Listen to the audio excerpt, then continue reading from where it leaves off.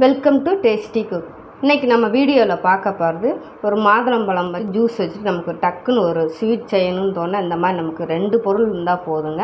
அந்த மாதிரி டக்குன்னு சுலபமான முறையில் நமக்கு ஒரு ஸ்வீட் செய்ய போகிறோம் வாங்க வீடியோக்குள்ளே போயிடலாம். வீடியோக்குள்ளே போகிறதுக்கு முன்னாடி இப்போ தான் என்னுடைய சேனலை நீங்கள் ஃபஸ்ட் டைமாக பார்க்குறீங்கன்னா டேஸ்ட்டு குக்கை சப்ஸ்கிரைப் பண்ணிக்கோங்க. பக்கத்தில் இருக்கிற பெல்லைக்கானையும் ப்ரெஸ் பண்ணிக்கோங்க. அப்போ நான் போடுற புதிய வீடியோ நோட்டிஃபிகேஷன் வரும் நீங்கள் என்னுடைய வீடியோவை பார்க்கலாம். பின்ன வீடியோ பிடிச்சிருந்தா கொஞ்சம் சப்ஸ்கிரைப் பண்ணிக்கோங்க. கொஞ்சம் லைக் பண்ணிக்கோங்க. அப்போ தான் எனக்கும் ஒரு மோட்டிவேஷனாக இருக்கும். நீங்கள் நிறைய பேர் சப்ஸ்கிரைப் பண்ணாமே வீடியோவை பார்க்குறீங்க ப்ளீஸ் வீடியோ பிடிச்சிருந்தா கொஞ்சம் சப்ஸ்கிரைப் லைக் கொடுங்க. அப்போ தான் எனக்கும் அடுத்தடுத்து வீடியோ போட மோட்டிவேஷனாக இருக்கும். இப்போ நம்ம வீடியோக்குள்ளே போயிடலாம். ஒரு கிளாஸ் மாதுளம்பழம் ஜூஸ் நான் எடுத்து வச்சுருக்கேங்க. கொஞ்சமாக தண்ணி ஊற்றி அடித்து வடிகட்டி நல்லா தெளிஞ்சாக எடுத்து வச்சுருக்கேன். நீங்கள் ஒரு பாத்திரத்தில் வடிகட்டிட்டு நல்லா தெளிஞ்ச பின்னாடி கூட மறுபடியும் நம்ம இன்னொருக்கு ஃபில்ட்ரு பண்ணி எடுத்துக்கலாங்க. டக் ஒரு அல்வா செய்யும்போது. முக்கால் கிளாஸுக்கு ஒரு கிளாஸ் மாதுளம்பழம் ஜூஸ்னால் முக்கால் கிளாஸுக்கு நான் ஜீனி எடுத்திருக்கேன். நம்ம பார்த்துட்டு அப்புறம் வேணும்னா நம்ம ஸ்வீட்டுக்கு தக்கன நம்ம இனிப்பு சேர்த்துக்கிறலாங்க இப்போ நம்ம ரெடி பண்ணிக்கலாம்.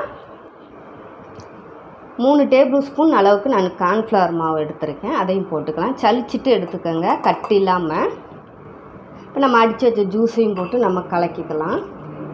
ஏன்னா கட்டி இல்லாமல் நம்ம கிண்டிக்கிறலாங்க அதுக்காகத்தான் நம்ம ரெண்டையும் மிக்ஸ் பண்ணி எடுக்கிறது. இப்போ இல்லைன்னா அலுவா கிண்டும் போது நம்ம பொடியை போடும்போது கட்டி கட்டியாக ஆயிரும். அப்போ அலுவா டேஸ்ட்டு மாறிடுங்க அதுக்காகத்தான் இந்த மாதிரி நீங்கள் கரைச்சிட்டு கிண்டும் போது ரொம்ப ஈஸியாக நம்ம பிக்னஸ் கூட டக்குன்னு செஞ்சிடலாங்க இந்த ஸ்வீட்டு பார்த்திங்களா கட்டி இல்லாமல் இருக்குங்க. இப்போ நம்ம அலுவா ரெடி பண்ணிக்கிறலாம்.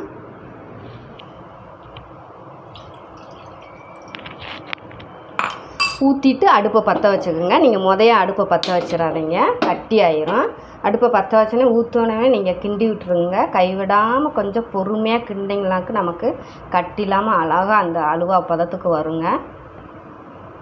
அழகாக ஒரு கெல்த்தியானதும் கொடுங்க. நம்ம மாதுளம்பழத்தில் செய்யும்போது யா மாதுளம்பழம் பிள்ளைய சாப்பிட்னா கூட இந்த மாதிரி கூட நம்ம ஒரு ஸ்வீட்டாக கூட நம்ம செஞ்சு கொடுக்கலாம் பிள்ளைகளுக்கு.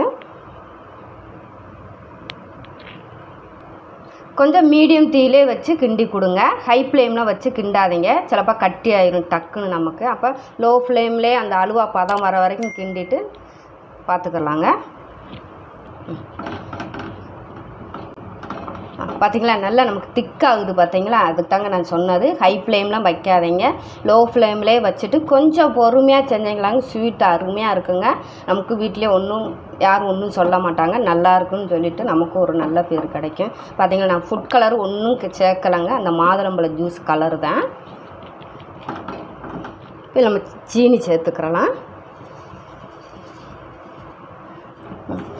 நீங்கள் இனிப்பு சீனி போடும்போது ஒரே தான் போட்டு கிண்டிடாதீங்க உங்களுக்கு ஸ்வீட் பார்த்துட்டு கூட நீங்கள் கொஞ்சம் கொஞ்சமாக சேர்த்துக்கிறலாங்க இது ஒரு டிப்ஸு மாதிரி கூட எடுத்துக்கோங்க. பிகினஸுக்கு கூட. ஒரே தான் நீங்கள் போட்டுட்டிங்களாக்க உங்களுக்கு அளவும் தெரியாது. அதனால் நீங்கள் கொஞ்சமாக போட்டுக்கிட்டிங்களா போதும். நம்ம தானே சாப்பிட போகிறோம் அப்போ அதனால் ஸ்வீட் கம்மியாக இருந்தால் நீங்கள் பார்த்துட்டு நம்ம சேர்த்துக்கிறலாம் க மெஷர்மெண்ட் வச்சு தான் நம்ம செய்யணும்னு இல்லைங்க. இதே நம்ம கைப்பக்குவத்துலேயும் நம்ம செஞ்சுக்கலாம். ஒரு ஒரு பத்து நிமிஷம் ஆகட்டும் நம்ம கிண்டி எடுத்துக்கலாம். நல்லா இன்னும் அந்த பதம் வரலாம் நான் உங்களுக்கு காட்டுறேன். பார்த்தீங்களா அந்த வேகமாக வருது பார்த்தீங்களா அந்த பார்த்தீங்களா ஓடி வந்து செட் ஆகுது பார்த்தீங்களா இன்னும் நமக்கு அல்வா பதம் வரலங்க.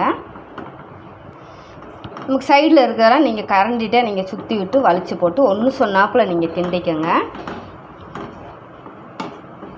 நல்லா ஹெல்த்தி அந்த மாதிரி நமக்கு குட்டிசுகளுக்கு பெரியவங்க முத கொண்டு யார் வேணாலும் நம்ம சாப்பிட்லாங்க. ஒரு ரெண்டு டேபிள் ஸ்பூன் அளவுக்கு நெய் சேர்த்துக்கிறேன்.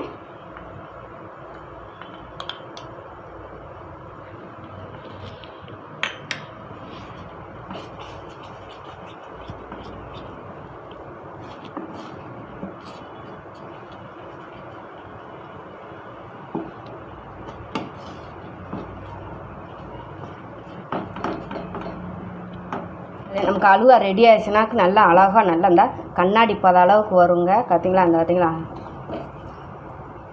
அப்படிங்களா நல்லா கண்ணாடி பதம் தெரியுதா உங்களுக்கு? அழுவா பார்க்கும்போதே வீடியோவில் நான் கிண்டும் போதே உங்களுக்கு தெரியுதா பார்த்தீங்களா ஒட்டாமல் இருக்குது பார்த்தீங்களா இதாங்க நமக்கு அளவு. கொஞ்சமாக நான் முந்திரி பருப்பு சேர்த்துக்கிறேங்க.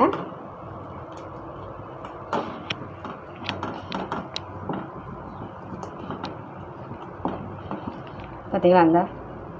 அப்போதைக்கு எப்படி ஸ்லோவாக வருது பார்த்தீங்களா?